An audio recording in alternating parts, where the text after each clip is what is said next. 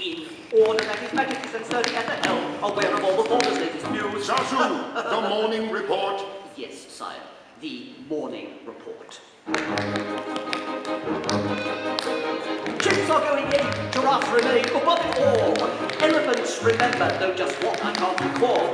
Crocodiles are snapping up fresh offers from the banks. Showed interest in my nest egg, but I quickly said, no thanks. We haven't paid the hornbills, and the vultures have the hunch. Not will be coming back from lunch. this is the morning report to the long and the short. Every grunt, claw and sort, not a tale I distort on the board.